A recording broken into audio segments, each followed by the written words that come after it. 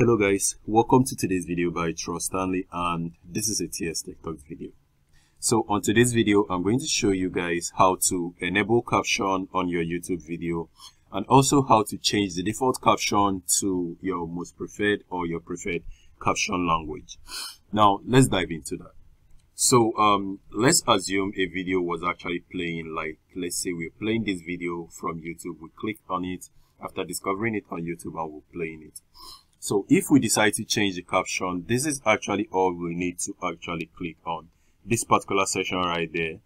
So when you click on that section, it actually allows you to change this caption to your preferred, um, to the default language. When you click on that, you will notice um, it displays some information right there. Guys, quick note, that is not English.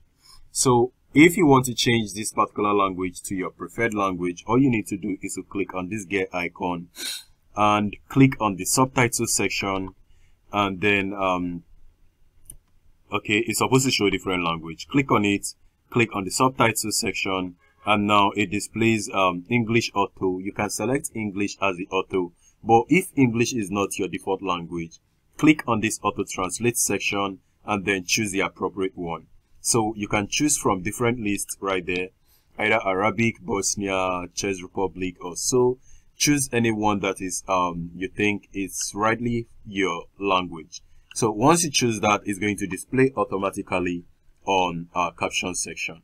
So um i'm going to change this to english on default. So click on english auto generated and it's going to display auto generated language on english. And when you play the video the caption is going to um display and you notice all different captions are showing very well.